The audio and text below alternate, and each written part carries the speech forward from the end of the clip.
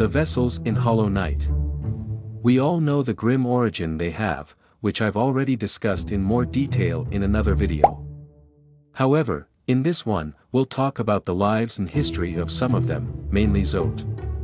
But the question here is the following. Is Zote a vessel? Let's discuss it. Zote, the Mighty, is a character who, like the knight, ventures into the kingdom of Hallownest with the goal of fulfilling a promise.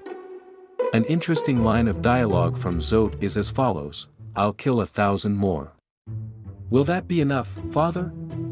Which suggests that the promise is directed towards his father. However, later on, we learn that the promise was made to himself.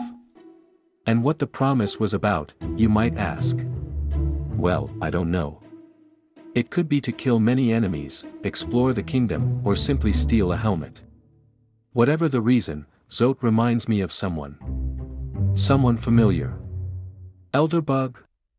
No, he's too big and robust. Pale King? No, a little, but not quite. Nosk? Now, speaking seriously, to try to figure out the origin of Zote, it's logical to begin with his appearance, and surprise, it's very similar to the vessels of the void, although not exactly the same, so his origin may be related to them. To start, we are certain that there are 15 vessels that came out of the abyss, the Hollow Knight, the Knight, the one found in Green Path, 11 in Nosk's room, and the Broken Vessel. We all know the story of the Hollow Knight, a being created for a purpose that, by its own nature, it was unable to fulfill. This is the only one of the vessels that managed to reach an adult version, with characteristics such as great stature, combat skills, mastery of soul and void, and its downfall, a mind capable of thinking. The knight shares the same origin as the Hollow Knight, they even meet at the door of the abyss. However, the knight couldn't pass the Pale King's test and fell into darkness until somehow escaping from the abyss. After that, it distances itself from Hallownest until something makes it return, and the events of the game unfold. As for the Greenpath vessel, we don't have much information about it. Probably, it also answered the call of Hallownest, like the knight, but perished in the attempt. Its nail is embedded in its body, giving rise to two possibilities, it took its own life, or someone killed it with its own weapon. Whatever the case, it still retains a very special item, the Mothwing Cloak. Deep Nest Vessels. These poor vessels did not have much luck. They were deceived and murdered by Nosk, just like the creatures found there.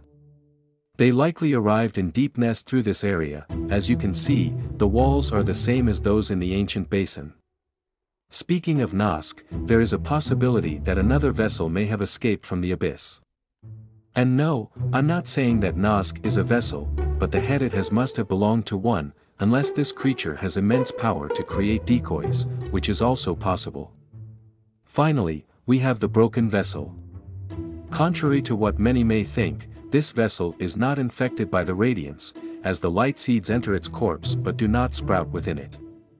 Even after defeating it, we can observe that its body still moves, despite no longer having the infection inside, indicating that it was not infected.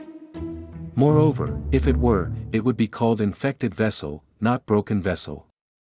Now, let's talk about Zote. Zote's appearance is very similar to that of the vessels of the Pale King, however, he has characteristics that do not align with the creations of the worm. For example, a mouth that he uses for speaking. But let's remember this, no voice to cry suffering. Therefore, Zote should not be a vessel. However, as a counterpoint to this argument, we have the Hollow Knight itself, which was cursed by a mind to think, and remember, no mind to think. So, not even the ultimate vessel was perfect. Apart from his annoying voice, Zote also has thoughts and an unbreakable will. Due to this, we should pay attention to what he says to try to decipher his origin. But we can't really trust Zote's words to know his story. Zod is a fool who thinks he's someone important when he really isn't. However, he truly believes his own story. If we use the dream nail on him, we can enter his thoughts and know what he thinks. He genuinely believes he is Zote the Mighty, with his life ender nail. So, if he tells us he comes from another place, we shouldn't believe him, because even though he thinks it's true, it may not be. Making this video, I just realized that Zote is literally the counterpart of the knight. Let's see, the knight never boasts about its achievements since it literally cannot speak. On the other hand, Zote keeps talking talking about things he has never done.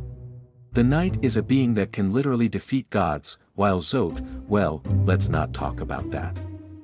Zote proclaims himself as a renowned knight, but nobody in the kingdom respects him. Quite the opposite of the knight, who even becomes a king. Returning to the video's topic. Let's consider for a moment that Zote is a vessel and ask the following question. How could such a useless being escape from the abyss? There's no way, no way at all that Zote could be a vessel because if he were born in the abyss, he would have died almost instantly due to his incompetence. I'm sure that vessel was much more skilled than him, and look how it ended. I believe this last argument puts an end to the mystery of this character's origin, but ultimately, his origin is not clear. Tomorrow Team Cherry could say that Zote was born in the abyss, and we would have to accept it.